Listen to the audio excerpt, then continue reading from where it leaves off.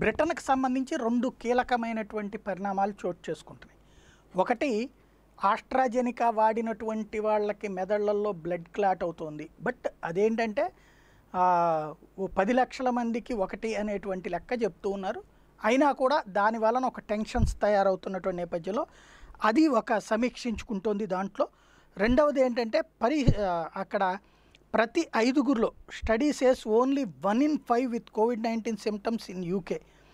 ఇందులో according to a UK study which found a link between people on low pay and poor adherence to the government's rules only one person in five in Britain అనే with covid nineteen symptoms would seek a test అనేటువంటిది కూడా ఒకటి అధికారికంగా ఇప్పుడు తెలిసిన తెలిసినటువంటి అంశం.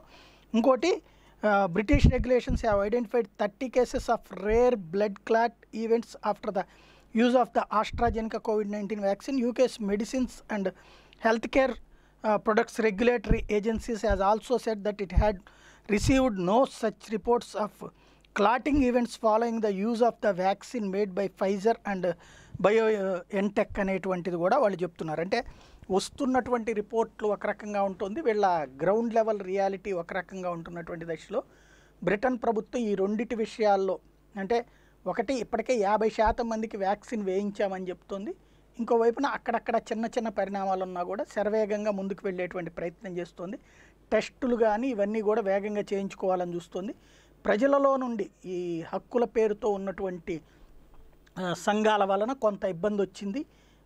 వీటిని మెయింటైన్ చేయడం కానీ వీటి విషయాల్లో ఇప్పుడు అది సరి చేసుకునేటువంటి ప్రయత్నం అయితే చేస్తుంది.